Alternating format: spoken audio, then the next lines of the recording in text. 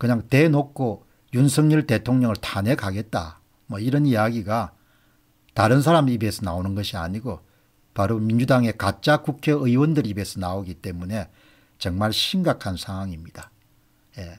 그와 같은 발언을 한 맨 첫 인물은 당의 여러분들 당대표 다음으로 2인자에 해당하는 박홍근 중랑구 을에 속한 사람입니다. 그야 출범 두 달 된 정부에 대해서 탄핵 경고를 쏟아냈다. 여당은 이에 대해서 민심에 불복하는 오만한 발언이다. 이렇게 여러분들 이야기를 하는 거죠. 예. 그리고 또 뭐 이 사람뿐만 아니고 이 강서구 을의 진성준 국회의원 원내 수석 부대표는 탄핵 발언과 관련해서 국민의 어떤 절박한 요구에 부응하지 못한 채 오만과 불통으로 일관하고 여러 사적 채용과 같은 인사문란 사태가 지속된다면 탄핵 절차를 밟지 말라는 법이 없으니 그 점을 명심하고 국정 운영을 잘하라고 민주당이 얘기한 것이다. 그게 무슨 문제냐 이렇게 이야기하고 이번에 민주당의 당대표로 출마한 김민석 의원은 윤석열 정부가 지금처럼 하면 국민이 연말에 촛불을 들 수가 있다. 그러나 앞으로 2년간 선거가 없으니 윤석열 정부가 폭주를 시작한 것이라 이렇게 국민의 화가 커지면 거리로 나가가 되는데 우리가 진짜 막아야 되는 상황이다. 이렇게 이야기하는 거죠. 지금 이야기하는 박홍근 의원 가짜 국회의원이잖아요. 강서구의원 진성준 의원 가짜 국회의원이잖아요. 영등포 의뢰 여러분들 재검표에서 가짜 투표지 여러분들 쏟아져 나온 것 전번에 재검표에 보셨죠. 박용찬 의원하고. 그 선거 누가 이긴 선거입니까? 박용찬 의원이 이긴 선거잖아요. 에? 지금 이름 3인방 진성준 원내 수석 부대표 박홍근 더불어민주당 여러분들 원내대표 김민석 국회의원 다 가짜지 않습니까?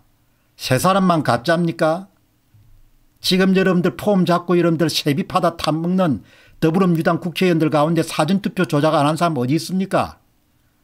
광주 광역시 전남 전북 일부 빼고 다 여러분 사전투표 다 조작했지 않습니까? 전 대표 송영길 우상호 윤호중 에? 다 여러분들 가짜지 않습니까? 박홍근 씨 1969년생 전남 고흥 출신 출세가 빨랐죠. 서울 중랑구 을 여러분 이 그래프 보시기 바랍니다. 사전투표를 조작하면 이런 그래프가 나옵니다. 관내 사전투표 득표율 빼기 당일 투표 득표율이 더불어민주당은 모두 다 플러스입니다.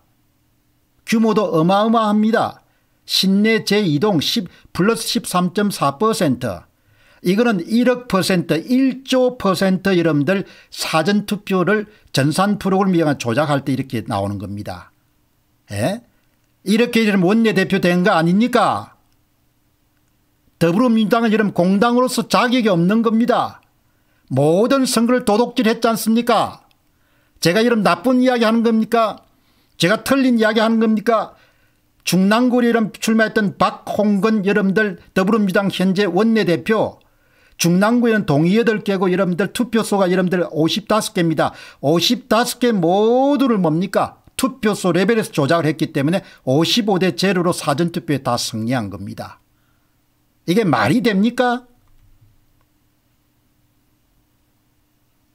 통합당 후보에 비해 가지고 통합당 후보가 100표 받을 때 박홍근 의원이 130표를 받았습니다. 그럼 관내 사전투표 관내 사전투표 다 비슷한 숫자가 나와야 되죠. 그런데 몇 표를 받았으면 관내 사전투표는 204표를 받고 관내 사전투표는 228표를 받은 겁니다. 엄청난 사전투표 조작질을 한 거죠. 에? 예? 그래가 이런 국회의원 된 사람들 아닙니까? 에? 예? 이게 뭡니까 이게 문제는 윤석열 대통령이 이 문제를 다루지 않기 때문에 문제가 되는 거지. 이 가짜들을 우리가 얼마 동안 오랫동안 봐야 됩니까? 얼마 표 훔쳤습니까? 표 훔치 숫자 다 나오지 않습니까? 제야 전문가 이런 분석한 거 몇 표 훔쳤습니까? 미래통합당 후보의 표 사, 얻은 사전투표 득표수 15,379표 가운데 11%를 훔쳐가지고 가져간 거 아닙니까? 5,493표를 미래통합당 후보의 사전투표에서 빼앗고 박원근 후보에게 대준 겁니다. 그러면 이 두 배를 훔친 거죠. 만 표 이상을 훔친 겁니다. 에? 이게 진성준이 여러분들 이게 뭡니까 박, 박홍근 원내대표 전남 고흥 출신으로 일찍 출시한 1969년생 더불어민주당의 원내대표로 있는 사람이 이런 그래프를 만든 거 아닙니까 이게 표를 도둑질한 거죠. 에? 세상에 뭡니까? 55개 투표소에서 다 더불어민주당이 어떻게 승리합니까? 이런 종류의 여러분들 부정선거를 해가지고 다 권력을 여러분들 훔쳐놓고 뭐 탄핵, 탄핵을 시킨다고 탄핵 당해야 될 사람들은 당신들이지. 에? 이런 걸 보고 우리 여러분들 윤석열 대통령 뭐 하는 겁니까? 도대체 뭐 하는 겁니까? 이거 한번 보라고 이게 정상이냔 말이야 이게. 이게 정상이냐고. 에? 에휴 딱한 사람. 진성준이 한번 봅시다. 1967년생. 전북 전주 출생. 강서을 출세가 빨랐죠. 여러분들 이 결과입니다 이게 진성준의 차이값 이꼴은 관내 사전투표 득표율 빼기 당일 투표 득표율 0에서 3% 정도 적은 값이 나와야 되는데 무려 11.6% 12.5% 이렇게 어마어마한 이런 조작질을 한 겁니다. 미래통합당이 김태우 후보로부터 투표소 레벨에 모두 다 이런 표를 훔쳐가지고 다 도둑질을 한 겁니다. 이 가짜입니까? 1조 퍼센트 가짜죠. 예. 투표를 다 도둑질 해놓으니까 어디서 도둑질 했습니까?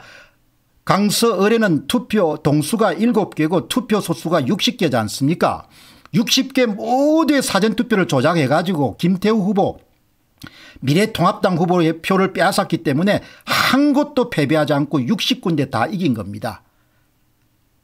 진성준 후보가 사전투표에 승리할 확률이 2분의 1 0.5입니다. 0.5에 60배가 되는 나타날 수 없는 통계학 교과서를 다시 쓰더라도 나올 수 없는 숫자로 승리를 한 겁니다. 이렇게 다 선거를 도둑질한 거 아닙니까 누가 도둑질했습니까 민주당이 도둑질한 거 아니에요.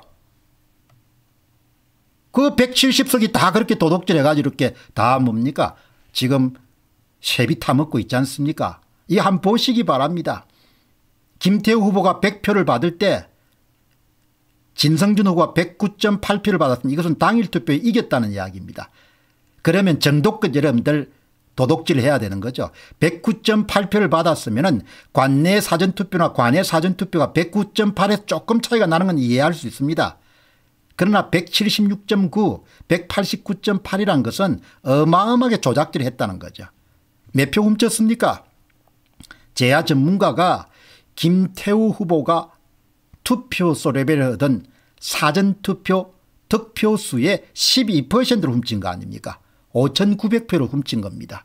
5,900표를 빼앗아 가가지고 예, 총 조작 표수는 5,900 곱하기 1을 하면 되는 거죠. 이렇게 다 훔쳐가지고 뭡니까 금배지 따고 폼 잡고 다니지 않습니까 예? 이걸 윤석열 대통령이 해결하라고 우리가 응? 날밤을 새우고 이런 표를 투표함을 지키고 한거 아닙니까 김민석 1964년생 서울 출생 영등포 어립니다.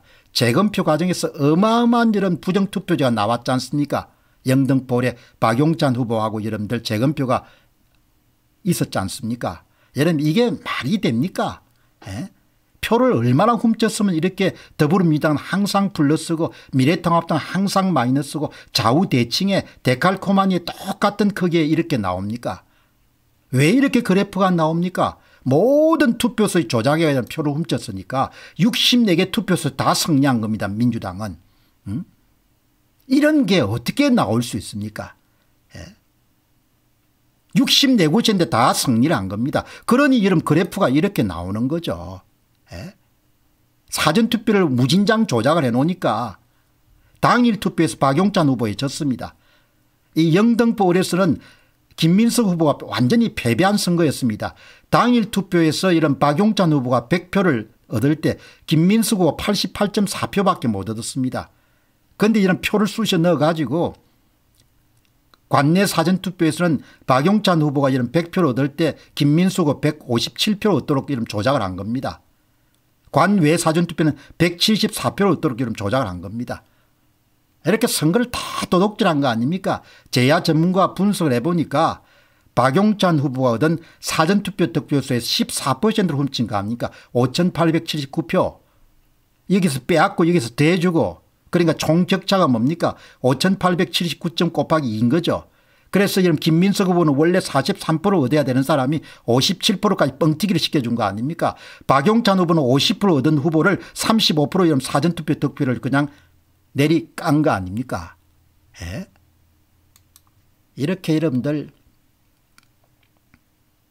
전산 프로그램에 의해 가지고 사전투표의 득표수를 조작해서 2020년 4.15 총선이 전면 뭡니까? 부정선거가 일어났는데 신임 대통령이 입을 다물고 있고 국힘당도 입을 다물고 있고 대법관들은 뭐죠? 7월 28일 목요일 날 최초의 이름 재검표인 인천 연수원에 원고 측 소송 기각 판결 내리기 위해 가지고 지금 다 준비를 마쳤겠죠. 저는 상당히 회의적으로 봅니다.